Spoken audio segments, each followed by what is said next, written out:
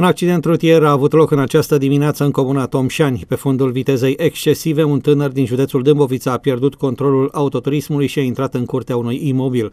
În urma impactului, alte două persoane au fost rănite, printre care și un minor. În cursul dimineții, polițiștii din Horezu au fost sesizați cu privire la faptul că s-a produs un eveniment rutier soldat cu rănirea a trei persoane. Din primele verificări efectuate, s-a stabilit faptul că un bărbat de 22 de ani din uh, județul Dâmbovița, în timp ce conducea un autoturist pe DN67 Tomșani, ar fi pierdut controlul volanului și ar fi intrat în curtea unui imobil.